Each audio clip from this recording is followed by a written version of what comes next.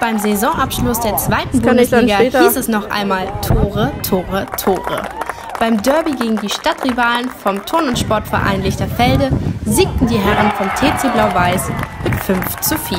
Heute haben wir es halt endlich geschafft, uns mal, uns mal zu belohnen für das, äh, für das, was wir jetzt auf jeden Fall in den letzten sechs, sieben Wochen äh, uns erarbeitet haben. Mit dem Stand von 1 zu 1 ging es in die Halbzeit. Zur entscheidenden Phase sollten jedoch die letzten 10 Minuten der Partie werden. Insgesamt sechsmal fand der Ball den Weg ins gegnerische Tor, wie hier durch Moritz Kehlitz. Und ein paar Gegentore sind halt einfach ein bisschen ärgerlich gewesen, weil wir halt nicht wach genug waren. Auf jeden Fall hat man jetzt den Effekt gesehen, den wir hatten, dass wir was gelernt haben, was uns verbessert haben.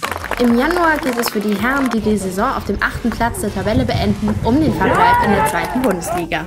Mit dem Ziel des Klassenerhalts soll es dann auch in den Playdowns Tore, Tore, Tore heißen.